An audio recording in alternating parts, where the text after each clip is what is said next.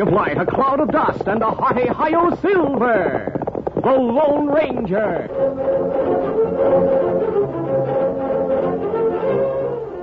Before this exciting adventure, a word from our sponsor.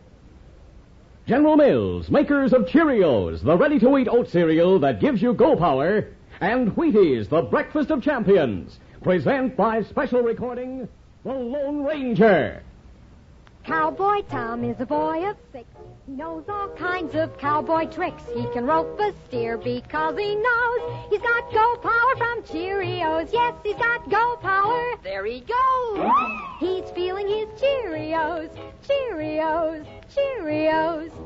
You bet Cheerios, the oat cereal that needs no cooking. Every delicious spoonful of Cheerios and milk is real muscle building food. Each spoonful contains vitamins, minerals, and proteins your body needs. Yes, the good things in a Cheerios breakfast do good things for your body. Help you have healthy nerves, good red blood, strong bones, and muscles. And besides giving you go power, Cheerios is downright wonderful tasting. That toasted oat flavor is really something. And when you add milk and your favorite fruit, say some sliced bananas, you're in for a delicious breakfast treat. Get the whole family off to a good start every morning with Cheerios. Then you'll hear people say, He's feeling his Cheerios.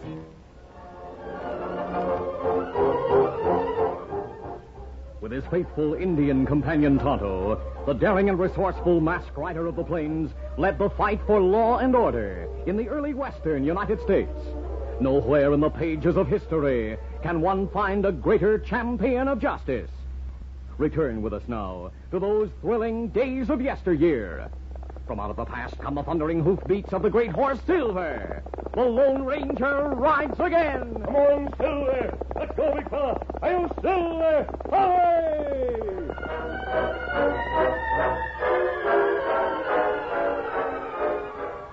Jed Webster and his younger brother Tex inherited an extensive, well stocked ranch when their father died.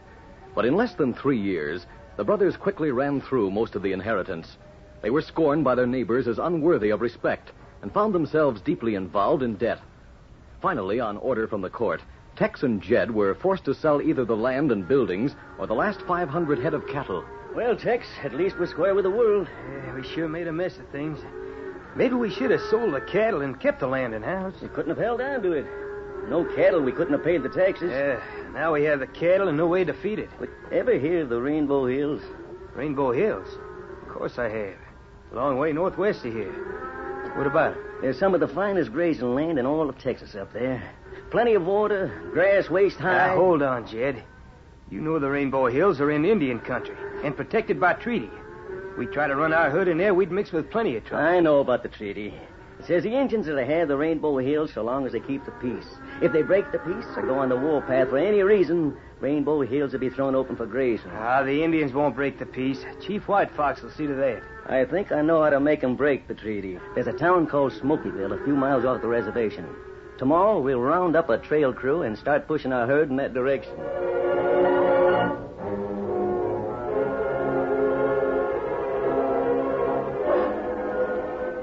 It was about a month later that the Lone Ranger and his Indian friend Tonto topped the crest of a low ridge that overlooked the parched and sun-baked valley of Smoke Creek. Below, they saw a herd of cattle grazing on the sparse grass along the banks of the shallow little stream. The masked man signaled a halt. Oh, fella. Steady. I wonder where that herd is headed, Tonto. Uh, maybe it belonged to a rancher who owned land here. I doubt it. This land couldn't support a herd, even a small one. That's right. Not much grass grow here. That herd's on the move. Beside the chuck wagon, there are two supply wagons. Maybe rancher drive herd to Smokyville. Sell herd there. Smokyville isn't a cattle market, it's a timber town. I think I'll question the trail boss. All right, let's go. Come on, Silver. Come up, scout.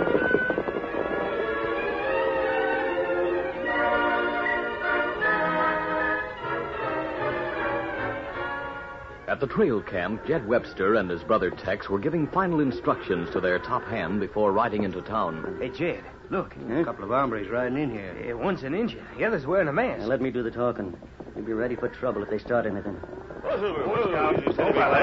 right, old Hooch. What do you want? I only want to ask a question. Then ask it and get out of here. Where are you driving this herd? I don't discuss my business with masked critters and redskins. Very well. But let me warn you, Jed. Stay clear of the Rainbow Hills. That's Indian country, and is protected by government treaty. Hey, how'd you know my name? You're Jed Webster from Pecos County, aren't you? You didn't answer my question. How'd you know my name? By the brand on the cattle, and also by that watch chain swinging across your vest. It watch chain? It was your father's, wasn't it? Yes, but Your father was more or less famous for the watch chain that held a row of nuggets of pure gold. As a matter of fact, because of that chain, many people called him Nuggets Webster. I'd heard that you inherited the chain with its row of gold nuggets when your father died. you seem to know a lot, don't you? Well, I make it my business to know things. Well, let me tell you, mister, keep your nose out of my business. The herd is California bound. And if you have ideas of raiding it, you'd better forget them. Now clear out of here. All right, let's go, Tonto. Come on, Silver. Come on, Scout. Hey, what do you make of him, Jed? Can't figure it, Tex. Seems to know plenty about us, but I never saw him before. No, neither did I, but But what? there's something familiar about him. As far as I'm concerned, he's an owl hoot, looking for information that doesn't concern him. Joe, while Tex and I are in town, keep an eye out for him. Tell the other boys to do the same. Shoot him down if he comes back. I sure will, Jed. Let's go, Tex. Right. Easy there. Come on, boy. Let's get go. Get it.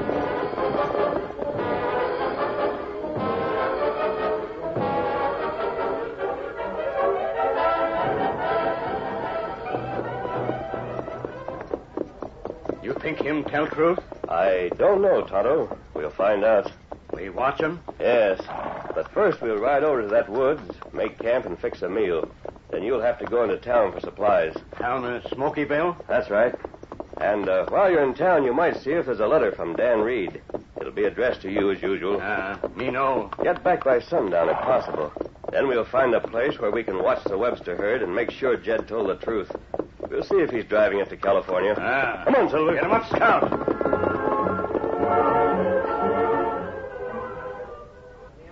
The town of Smokyville was in timber country, and many of the people were supported by work in the sawmill. The mill had shut down that day, and many timber cutters were out of work. A number of them had gone to the Lone Pine Cafe to discuss their troubles with the bartender. Well, the layoff is going to hit the town mighty hard. I reckon you boys will be moving on to another camp now, huh? We'll have to. No money to be made around here. Yeah, this town's gonna be deader than a doornail now the mill's closed down. Okay, gents. Let a thirsty man to the bar if you don't mind. Happy sir. Come on, Tex. Howdy, gents. What'll it be? Refreshments for the house. Step up to the bar, folks. Refreshments are free. Aren't you the same two fellas who came through here about a week ago? Ah, sure. we thought you'd remember us. I do. And as I recall, you didn't have ten dollars between you. Now you're ordering refreshments for the house. Right you are, barkeep. The wheel of fortune spins rapidly sometimes. Yeah? Well, I'm not popping a cork until I see the color of your money. Uh, you hear that, folks? He wants to see the color of our money. Very well, he shall see it. Take a look at that. It's yellow, golden yellow. That's the color of our money. Oh, gold nugget. Big as a buzzard's eye. and there's more where that came from. Now, mister, do you serve us or don't you? All right. Name your poison, gents.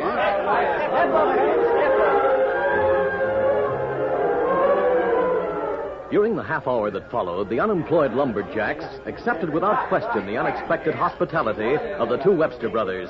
Then, convinced that his plan was working, Jed Webster said, All right, barkeep. How much do we owe you? Thirty dollars, over and above the one gold nugget. Very well. Here's another nugget. I'll weigh it up and give you your change in cash. Oh, never mind the change. Let my friends here drink up the change. Hey, hey. Well, my friends, we must leave you now. Come on, Tex. hey, mister, just where'd you get that you know, my old father used to say, never look a gift horse in the mouth, my friend. Isn't it enough that you enjoy the fruits of our work and luck? come on, Tex, come on. Now we'll go to the hotel room and wait developments. The gold rush hasn't started in 30 minutes. I miss my guess. Hey, when you started buying drinks, the news spread fast. Just look at this street. Completely deserted. Uh, no, it's not. Huh? Look yonder beside our horses. Hey, a redskin. The same redskin that was with the mask trader. What's he up to? He's looking over our horses. Must have recognized them by the brands. Uh-oh, he sees us. Hey, just a minute, Redskin. I want to talk to you. Oh? What about? Why are you prowling around our horses? Me not bother your horses. Me have horse. There. See? That's a horse he was riding, Jed. It's my horse, all right. Yeah, but you were looking at ours. I want to know what you and your masked friend are up to. Oh. Start walking. Why you draw a gun on me? Hey, what's the idea, Jed? I'm taking him up the back stairs to our room. I'll sweat the truth out of him. Now get going, Injun.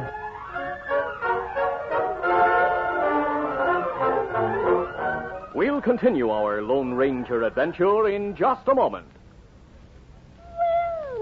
All over the country in every direction. How you, how you doing is the question. And here's what the happy, happy people have to say.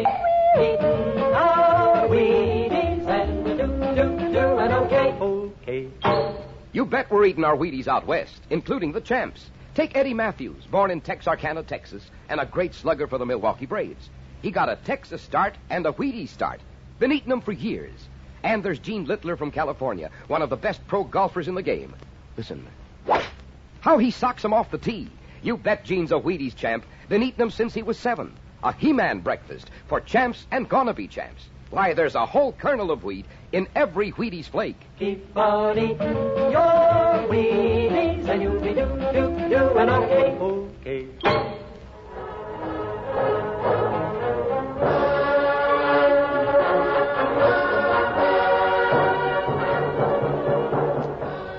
Now to continue. When Tonto drew rein at the hitch rail in front of the hotel, his horse was alongside the horses of Jed and Tex Webster. The Webster brothers immediately accused Tonto of spying on their activities and marched him at gunpoint up the back stairs to their hotel room. Take his gun, Tex. His knife, too. Yeah, right. All right, put him down a chair and see what's sticking in his belt. It looks like a letter. You'll not take that. let go of me. You. Yeah, that got him. Nerve of him, trying to get rough. Jed, you, you hit him mighty hard. Oh, he's just stunned. He'll be all right. Yeah, but he can't give us any information while he's unconscious. Yeah, well, maybe we'll learn something from the letter. Let's see it. It's addressed to Tonto, in care of the Smokyville postmaster. Yeah. Hold it closer to the lamp. Yeah, right. Yeah, let's see now.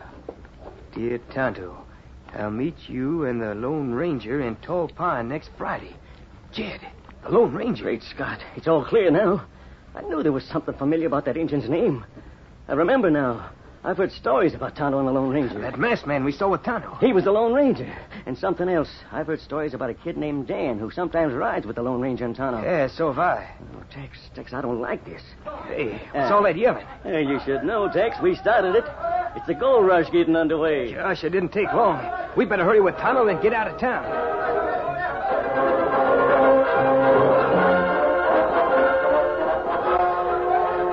The Webster brothers hurriedly tied and gagged Tonto, then rushed from the hotel. The street was filled with men, horses, and wagons, ready to start for the Rainbow Hills. Jed and Tex were seized by a number of men. Men we want. Come on, you're going with it. Let's show us where the gold is. Hang on to it. Ah, let me go. Let me go. You can't do this. Take your hands off me. Let go, do you hear? Now, take it easy, Let me boys. go. We're not going to hurt you. We're taking you two along with us. So tell us where you found gold. No, no. Look, we won't jump your claims. Just show us the gold. We'll stake claims of our own. Come on, get on your horses, both of you. All right. All right, boys, let's go. Come on, get up here. Get up.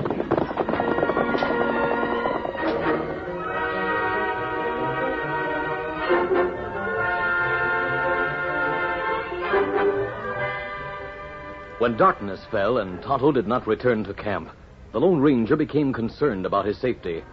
He saddled the great horse Silver and rode rapidly along the trail to Smokyville. Arriving there, he rode boldly down the street when he saw that the town, to all appearances, was completely deserted, except for one horse hitched at the rack in front of the hotel. That's Tonto's horse, Scout. Oh, Silver, whoa. I'll inquire in the hotel. Easy, steady, big fellow. The aged hotel clerk was dozing in his chair behind the desk when the Lone Ranger entered, but he woke with a start when the masked man touched him on the shoulder. Uh, wake up. Hey, your mask. I'll not harm you. Now, take it easy. First a gold rush, now a mask owl hoot. Gold rush? Yep, someone struck gold in the Rainbow Hills. The whole town's moved out. If I wasn't sold, I'd have gone too. Was there an Indian in here tonight? Hmm. Hey, yes, come to think of it, there was. Just a few minutes before the gold rush started. He came in, got a letter. You see, this is the post office as well as the hotel. Yes, I know that. His uh, horse is still hitched at the rack. Do you have any idea where he might be? No, but come to think of it, a funny thing happened just as the rush started. Oh, what was it? Well, there were two fellas named Webster registered here. Well, when the rush started, they come running through the lobby and dropped this envelope. It's the same one I gave to the Redskin just before the rush started. You see, it says Tonto. Yes, I'll take that. You say they came from their room? Yep, they did. I yelled at them. They dropped something, but they paid me no heed. All right. Show me to their room.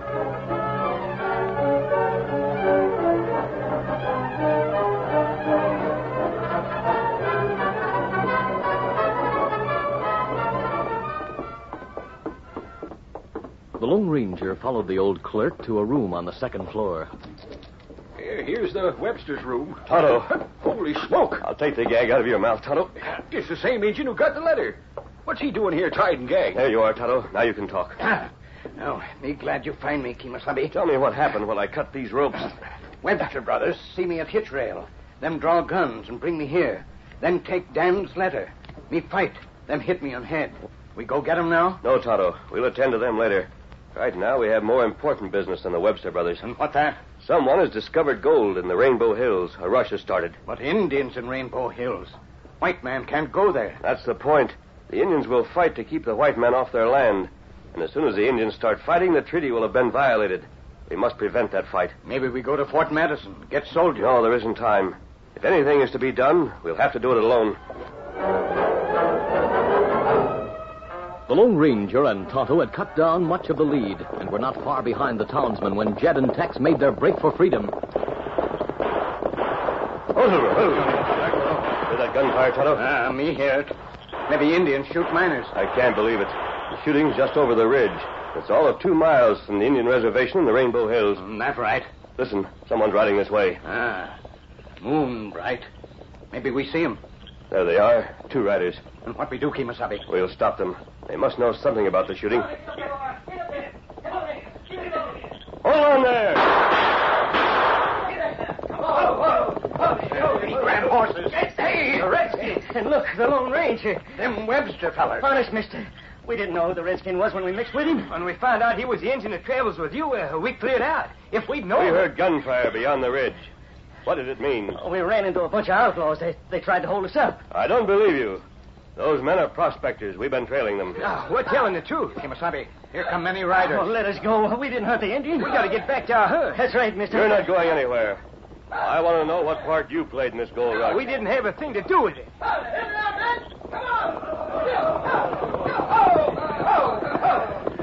Man and an engine are with us. Keep 'em covered. We'll find out what this is all about.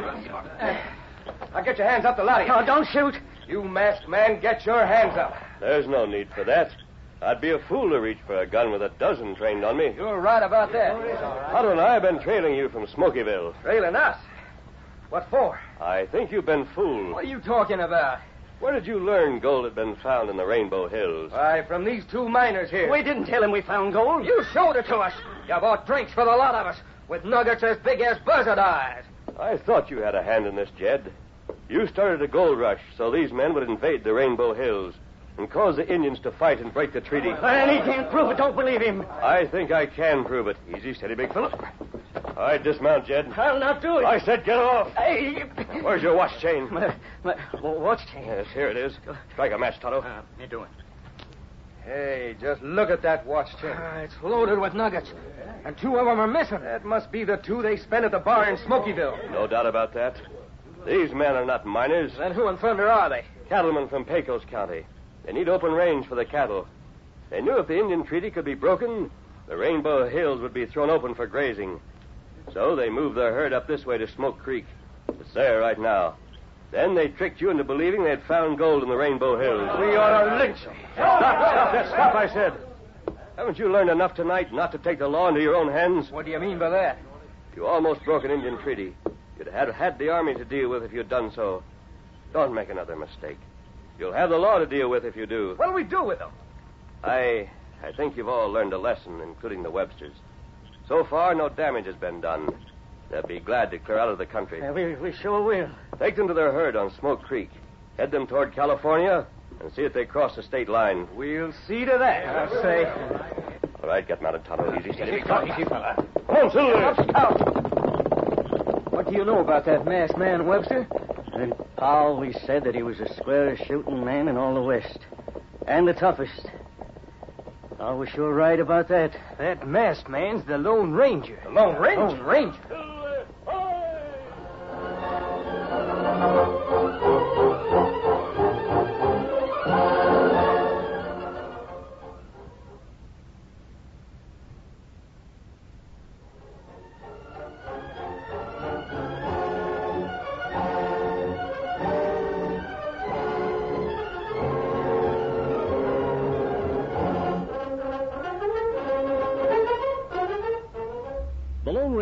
Copyrighted feature of the Lone Ranger Incorporated, is produced by Trendle Campbell Muir Incorporated.